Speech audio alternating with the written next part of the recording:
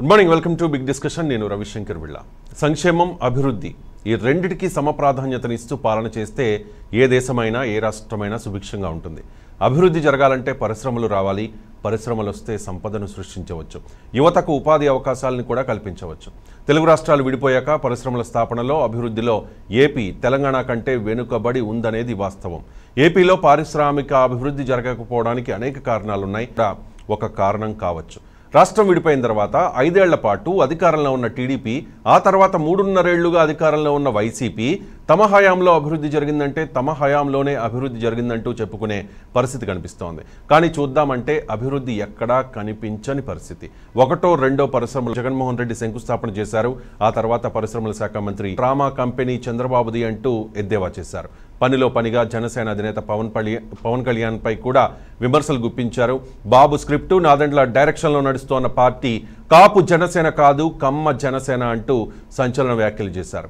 ఎవరి హయాంలో ఎక్కువ అభివృద్ధి జరిగింది ఎవరు ఎక్కువ పరిశ్రమలను తీసుకొచ్చారు అనే దానిపై టీడీపీ వైసీపీ నాయకుల మధ్య డైలాగ్ వార్ నడుస్తోంది. అలాగే పవన్ కళ్యాణ్ ఉద్దేశించి మంత్రి అమర్నాథ్ చేసిన వ్యాఖ్యలపై కూడా ఇవాళ బిగ్ డిస్కషన్లో చర్చిద్దాం. చర్చలో పాల్గొనేందుకు మనతో ఉన్నారు అధికార వైఎస్ఆర్ కాంగ్రెస్ పార్టీ అధికార ప్రతినిధి కొండ రాజీవ్ గాంధీ గారు. ముఖా శ్రీనివాస్ గారు జనసేన పార్టీ ఉత్తరాంధ్ర నాయకులు మరి కాసేపట్లో కేఎస్ ప్రసాద్ గారు పొలిటికల్ అనలిస్ట్ అలాగే సయ్యద్ రఫీ గారు తెలుగుదేశం పార్టీ అధికార ప్రతినిధి అలాగే పెద్దిరెడ్డి రవికిరణ్ గారు భారతీయ జనతా పార్టీ మీడియా ప్రతినిధి కూడా ఈ బిగ్ డిస్కషన్లో మనతో జాయిన్ అవుతారు. Good morning and welcome to big discussion. ముందుగా కొండ రాజీవ్ గాంధీ గారు పరుగులు పెట్టిస్తోంది పరుగులు పెట్టిస్తున్నారు జగన్మోహన్ రెడ్డి పరిశ్రమల్ని.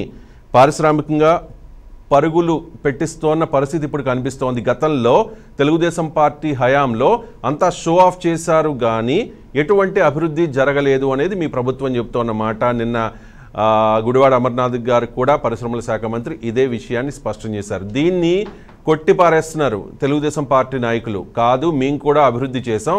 కియా సంస్థను తీసుకొచ్చిన ఘనత కూడా మాదే. నిన్న జగన్మోహన్ రెడ్డి గారు శంకుస్థాపన చేశారు కదా సార్ టైర్ల కంపెనీ.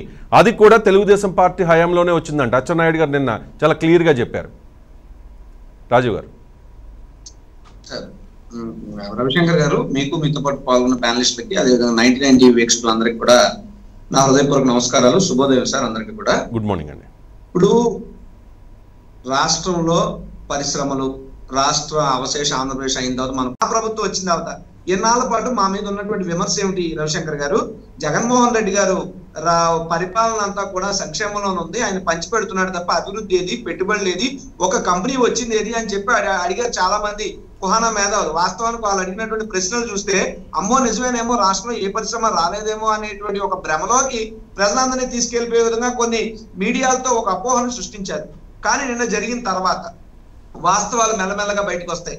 నిజం ఒక సామెత చెప్పినట్టు ఏంటంటే నిజం గడప దాటే లోపు అబద్ధం ప్రపంచం చుట్టూ వస్తుంది విధంగా మా ప్రభుత్వం వచ్చిన తర్వాత నిజమేమిటి? మేము ఎన్ని పరిశ్రమలు తెచ్చాం మా దగ్గర లెక్కలు ఉన్నాయి. మేము చెప్తూనే ఉన్నాం. అనేక పర్యాలు మీ డిబేట్లో అనేక కంపెనీల పేర్లు కూడా నేను చెప్పడం జరిగింది. నిన్నటితో నిన్నటితో కొంచెం ప్రజలకు కూడా అర్థమైంది. ఎస్ కంపెనీలు వచ్చినాయి. ఏం పెట్టుబడులు వచ్చినాయి? Hmm. సార్ తొంభై ఎనిమిది భారీ అతి భారీ పరిశ్రమలు జగన్మోహన్ రెడ్డి గారు ముఖ్యమంత్రిగా ప్రమాణ స్వీకారం చేసిన తర్వాత రాష్ట్రానికి రావడం జరిగింది. తద్వారా ముప్పై తొమ్మిది వేల పైచిలకు కోట్లు పెట్టుబడులు వచ్చాయి తద్వారా అరవై వేల మందికి ఉద్యోగాలు వచ్చాయి. పరిశ్రమల రంగంలో. ఎంతమందికి ఇది అండి? నేను ఎంత చెప్తున్నానంటే ఎంతమందికి వచ్చాయి? ఎంతమందికి వచ్చాయి? చెప్పండి. ఎంతమందికి వచ్చాయి? అరవై వేల ఉద్యోగాలు. అరవై వేల ఉద్యోగాలు. ఓకే. చెప్పండి. అరవై వేల ఉద్యోగాలు. ఇది నేను ఎందుకు చెప్తున్నా అంటే సార్ నేను నేను ఉత్తరే లెక్కలు చెప్పట్లా. ఇది వాస్తవాలు. దాంతో పాటు మరి పెట్టుబడులు వస్తే అసలు దాని రియాలిటీ కూడా కనబడాలి కదా. సార్ జీడిపి గ్రోత్ ఇరవై ఒకటి ఇరవై రెండు ఫైనాన్షియల్ ఇయర్ గాను ఆంధ్రప్రదేశ్ జీడిపి గ్రోత్ పదకొండు పాయింట్ నాలుగు మూడు శాతం. వేరే దేశం మొత్తం ఉన్నటువంటి జీడిపి గ్రోత్ చూసుకుంటే ఎనిమిది పాయింట్ తొమ్మిది శాతం. Hmm. నేను చెప్తున్నటువంటి లెక్కలన్నీ కూడా ఉంటాయి. తద్వారా వచ్చేటటువంటి రిజల్ట్స్ ఇలాగ ఉంటాయి. Hmm. Next ease of doing business అసలు ఈజ్ ఆఫ్ డూయింగ్ బిజినెస్లో గడిచినటువంటి మూడేళ్ళలో కూడా ఆంధ్రప్రదేశ్ రాష్ట్ర కేంద్ర ప్రభుత్వం వెల్లడించినటువంటి లెక్కలు. సరే ఈజ్ ఆఫ్ లెక్కలు. సరే ఈజ్ ఆఫ్ డూయింగ్ బిజినెస్ అంటే ఏమిటి? కంపెనీల్ని ఎలా వస్తాయి? వచ్చినటువంటి కంపెనీలు ఇక్కడ ఈజీగా బిజినెస్ ఎలా చేయగలిగితే వాళ్ళకి ఆ రాష్ట్ర ప్రభుత్వాలు ఏ విధమైన సహాయ సహకారాలు అందించగలిగితే ఎవరికి ఏ ఇబ్బంది వచ్చినా సరే అక్కర్లేదు మా అధికారులు మీ చుట్టూ తిరుగుతారు. This is what ease of doing business మేము అలా చేస్తున్నాం కాబట్టి మాకు ఈజ్ ఆఫ్ డూయింగ్ బిజినెస్లో మాకు అవార్డులు రావడం జరిగింది. నెక్స్ట్ సెవెంటీ ఫైవ్ పర్సెంట్ లోకల్స్కి ఖచ్చితంగా ఎంప్లాయ్మెంట్ ఇచ్చి తీరాలని కూడా ముఖ్యమంత్రి గారు చెప్పారు. ఇవి నేను ఇప్పుడు ఏదైతే చెప్పానో ఇవన్నీ కూడా గ్రౌండ్ అయ్యి స్టార్ట్ అయినటువంటి కంపెనీలు సార్. స్టార్ట్ అయ్యి అవబోయే కంపెనీలు శంకుస్థాపన జరగబోయే కంపెనీలు వీటన్నిటి లిస్ట్ కూడా ఉంది. Hmm. నేను ఏమంటున్నానంటే ఇప్పుడు ఇందాక మీరు మరి ఎవరో ఈ రోజు ఒక ఆర్టికల్ చూశాను నేను. ఏంటంటే ఈ ఏటీసీ టైర్లు కూడా ఆన్లైన్ తీసుకొచ్చామని చెప్పి అచ్చెన్నాయుడు గారు అన్నారు. అచ్చెన్నాయుడు ఉమ్, ఇప్పుడు కియా అనేటువంటి సంస్థ ఇప్పుడు వాళ్ళు తెచ్చారని చెప్తున్నారు. ఆ కియా అనేటువంటి సంస్థ అసలు ఎలా పుట్టింది? ఎవరు నాయకత్వం ఎవరు ముఖ్యమంత్రిగా ఉన్నప్పుడు కియా అనే కియా అనేది ఏ కంపెనీకి సిస్టర్ కంపెనీ ఏ కంపెనీ ప్రతినిధులు అప్పుడు ముఖ్యమంత్రికి లెటర్ రాశారు? ఇవన్నీ కూడా బుగ్గన రాజేంద్రనాథ్ గారు అసెంబ్లీలో విప్పి అన్ని విప్పి విపులంగా చెప్పడం జరిగింది. చెప్తే అప్- అప్పుడు ఏం గగ్గోలు పెట్టాడు? మరి ఇదే చంద్రబాబు నాయుడు ఇదే అచ్చెన్నాయుడు. ఊరికే చంద్రబాబు నాయుడు గారు ఎంతసేపు కూడా ప్రపంచంలో ఎక్కడే అద్భుతం జరుగుతుంది? ప్రపంచంలో ఎక్కడే మంచి జరుగుతుంది? దాన్ని నా ఖాతాలో ఎలా చేసుకోవాలి? ఇదే ఒక ఆలోచనతో చంద్రబాబు నాయుడు అయిన పార్టీ ముందుకెళ్తుంది మీకు ఇంకా తెలియదు రవిశంకర్ విల్లా గారు అవసరమైతే మీకో నాకో కూడా ఉగ్గుపాలు పోసి పెంచాను. మీకు మాటలు నాకు చదువు నేర్పించి కూడా. చంద్రబాబు నాయుడు అనే చెప్పి దిగజారిపోతారు వీళ్ళంతా కూడా. కాబట్టి ఏమిటంటే అటువంటి పనికిమాల మాటలు పట్టించుకోవడానికి దాని గురించి ఆలోచించడం మేమైతే లేదు. వాస్తవాలు చెప్పడానికి మాత్రం వచ్చాను వాస్తవాలే మాట్లాడారు రైట్ సార్ ఒకే పాయింట్ ఒక పాయింట్ ఏంటంటే జగన్మోహన్ రెడ్డి గారు ముఖ్యమంత్రి అయిన తర్వాత అంటే వైసీపీ అధికారంలోకి వచ్చిన తర్వాత కొత్త పరిశ్రమలు రావడానికి భయపడుతున్నాయంట. పరిశ్రమలు పెట్టడానికి ఎవరైనా యాజమాన్యాలు భయపడుతున్నాయి. కియా సంస్థ విషయానికి వస్తే నిన్న మొన్నటి వరకు ట్రెండింగ్లో ఉన్న గోరంట్ల మాధవ్ గారు అక్కడ ఎంపీగా ఉన్నారు కదా హిందూపురంలో. కియా పరిశ్రమ యాజమాన్యాన్ని బెదిరించారంట. దానికి సంబంధించిన ప్రూఫ్స్ కూడా తెలుగుదేశం పార్టీ నాయకులు చెప్తున్నారు. కొత్త కంపెనీలు రావడానికి ఇంట్రెస్ట్ చూపకపోవడంతో సహా ఉన్న కంపెనీల్ని భయపెట్టి తరిమేసే పరిస్థితి ఉంది అనేది వాళ్ళు చెప్తామన్నమాట thank you thank you right right నేను అనేది ఏంటంటే ఆ. అలా పనికిమాల పనులు చేస్తే వాళ్ళ కియా సంస్థల తాలూకా ప్రతినిధులు వచ్చి. మాకు రాష్ట్ర ప్రభుత్వం ఇస్తున్నటువంటి సహకారాలు బాగున్నాయి దయచేసి మీరు మాతో రాజకీయాలు చేయొద్దని చెప్పి స్పష్టంగా చెప్పారు. ఒక కియానే కాదు. విశాఖపట్నంలో కూడా కాండియంట్ అనేటువంటి ఒక సంస్థ కంపెనీ ఉంది. దాన్ని కూడా వెళ్ళిపోతుందని ఇలాగే రాతలు రాశారు. వాళ్ళు బయటకు వచ్చారు. ఇకపోతే ఇంకొక లాజిక్ చెప్తాను ఇక్కడ. విశాఖపట్నం శ్రీపురం సెంటర్లో. హెచ్ఎస్బిసి బిల్డింగ్ అంటే బహుశా తెలియని వాళ్ళు ఎవరు ఉండరు. మన ఎల్ఎస్. ప్రసాద్ గారికి కూడా తెలిసే ఉంటారు.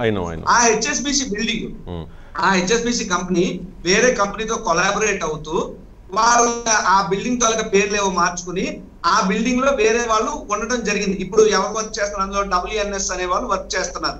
దాన్ని కూడా తీసుకొచ్చి జగన్మోహన్ రెడ్డి గారు వచ్చిన తర్వాత హెచ్ఎస్బిసి వెళ్ళిపోయిందని పెట్టారు. నిజానికి చూసోడు ఏమనుకుంటాడు? అమ్మ నిజం అనుకుంటారు. కానీ వాస్తవ పరిస్థితులకి ఇలా చేస్తున్నటువంటి ఆరోపణలకి నక్కకి నాగలోకానికి. ఉన్నటువంటి తేడా ఉంది. రాష్ట్రంలో జరిగేటటువంటి ఏ మంచి కార్యక్రమానికైనా బోడిగుండికి మోకాలకి ముడిపెట్టే విధంగానే.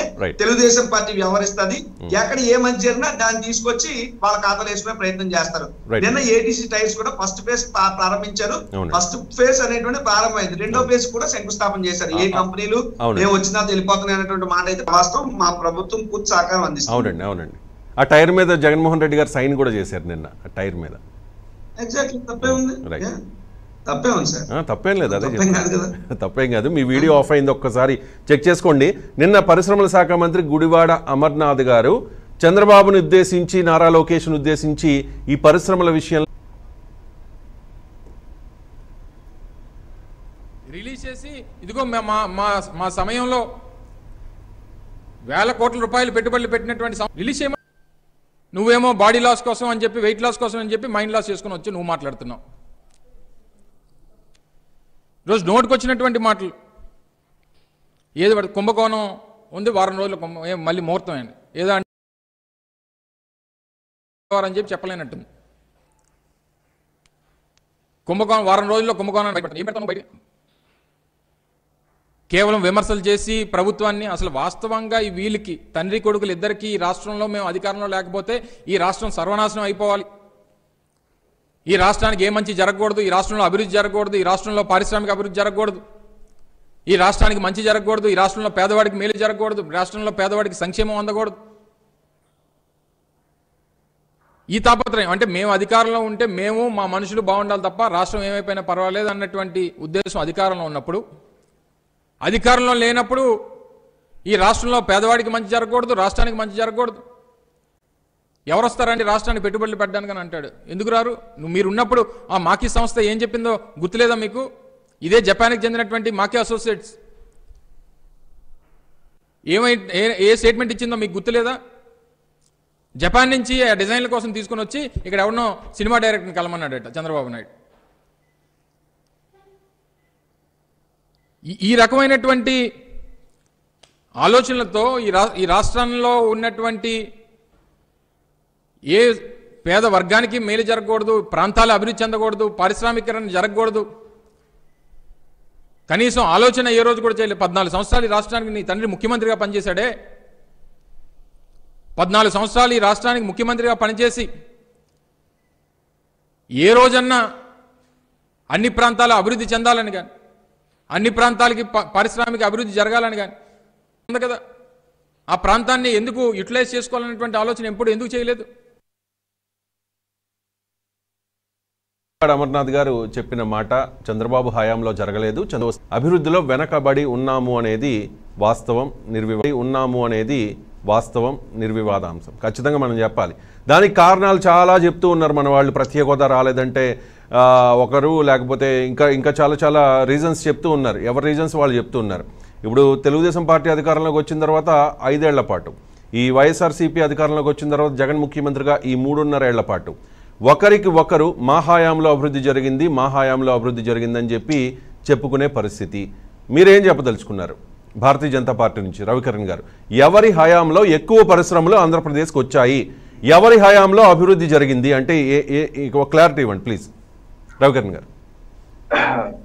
రవిశంకర్ గారు ముందుగా మీకు తోటి ప్యానలిస్ట్ నైన్ టీవీ వీక్షకులందరికీ శుభోదయం అండి గుడ్ మార్నింగ్ సో అభివృద్ధి లేకపోతే నూతన పరిశ్రమల ఏర్పాటు ఈ ఇది ఇది కంటిన్యూస్ ప్రాసెస్ అండి. ఇది రిలే- పరుగులు అండి అండ్ దెన్ కలెక్టివ్ రెస్పాన్సిబిలిటీ ఇది ఒక ప్రభుత్వ హయాంలోను ఒక రాష్ట్ర ప్రభుత్వం చేసేది ఒక కేంద్ర ప్రభుత్వం సహకారం లేకుండా చేసేది కాదు.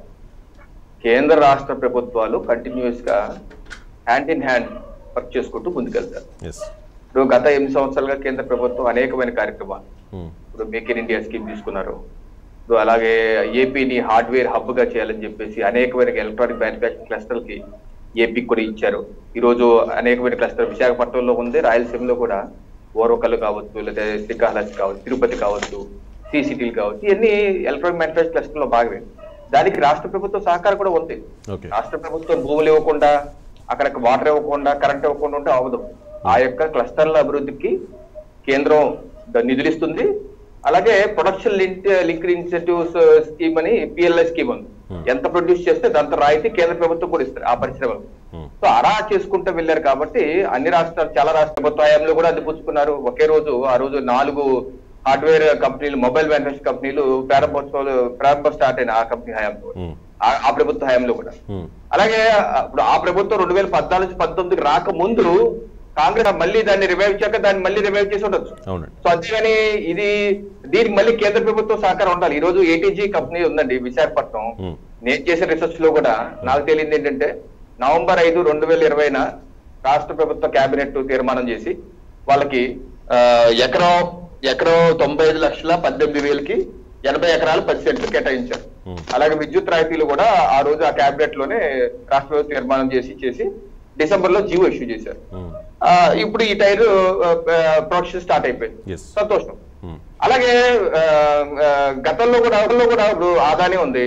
ఆదాని డేటా సెంటర్ని గత ప్రభుత్వం కూడా శంకుస్థాపన చేశారు. చంద్రబాబు నాయుడు గారు ఆరు ఆరు నెలల ముందు ఎప్పుడో చేశారు. శంకుస్థాపన చేసి మొదలు పెడతా ఉన్నారు.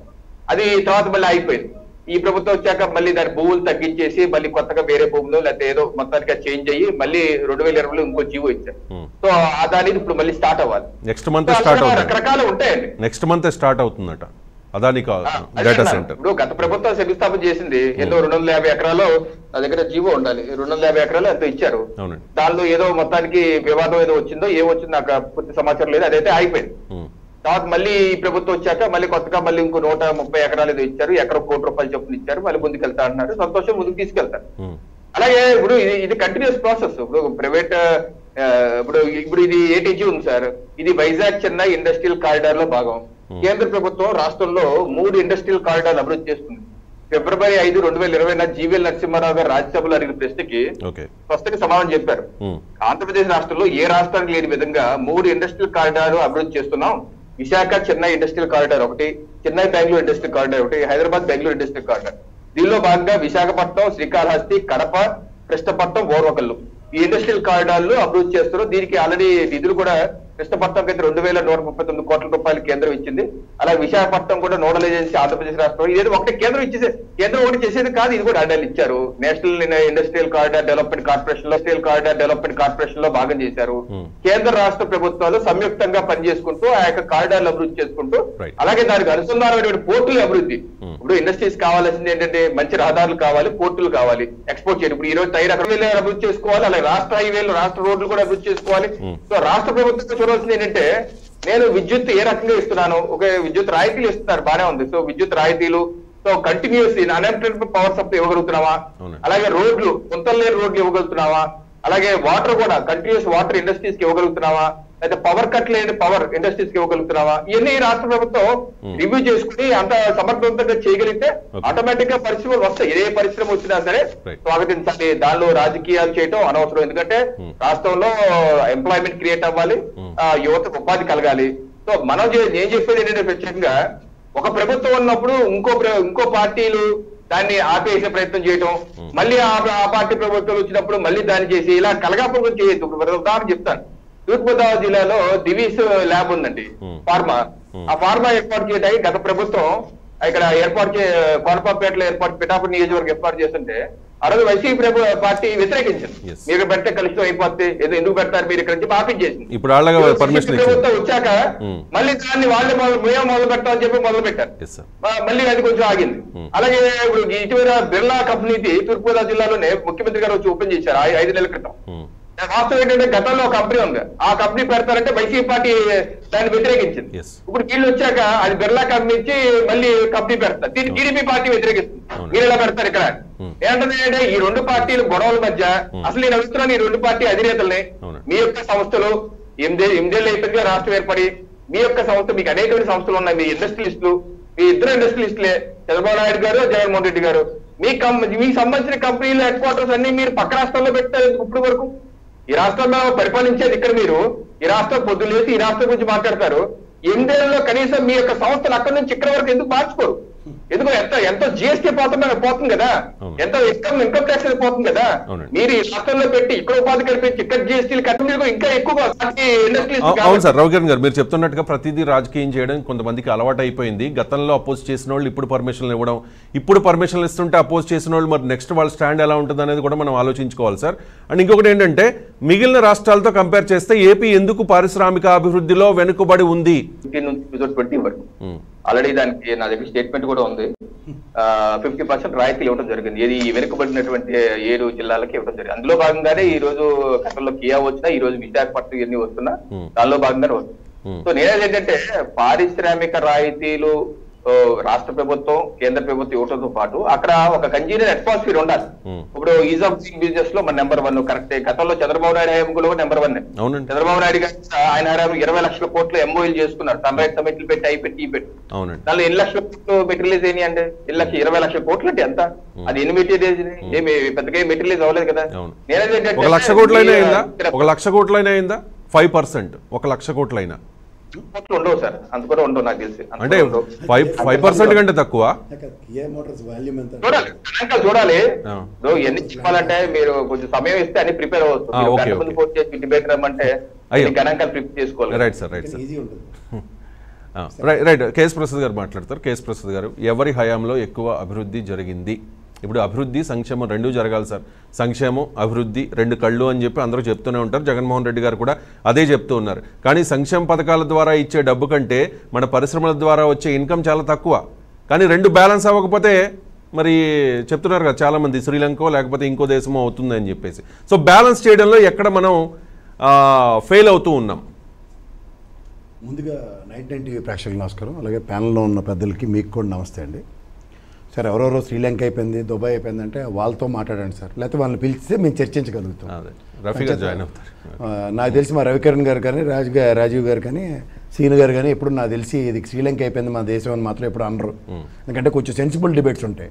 సెన్సిబుల్ పీపుల్ సెన్సిబుల్ లైన్స్లో మాట్లాడతారని నేను ఒక అపోహలో ఉంటాను. ఇక్కడ ఇందాక రవికిరణ్ గారు కోట్ చేస్తూ అలాగే రాజీవ్ గారు కోట్ చేస్తూ కొన్ని మంచి విషయాలు అయితే బ్రహ్మాండంగా చెప్పారు. ఎందుకంటే నెంబర్ వన్ ప్లేస్ ఎందుకు వస్తుందంటే పారిశ్రామిక రంగం ఏదైనా అక్కడ ఒక కంపెనీ స్టార్ట్ చేస్తుందంటే మా విధి విధానాలు ఇవి అని చెప్పేదే ఈజ్ ఆఫ్ డూయింగ్ బిజినెస్ ఆ ఈజ్ ఆఫ్ డూయింగ్ బిజినెస్లో ఎన్ని రకాల అలాగే పారిశ్రామికంగా అభివృద్ధి చెంది ఎక్స్పోర్ట్ చేయడానికి వెసులుబాట్లు ఉన్న పోర్ట్లు ఎన్ని ఉన్నాయి?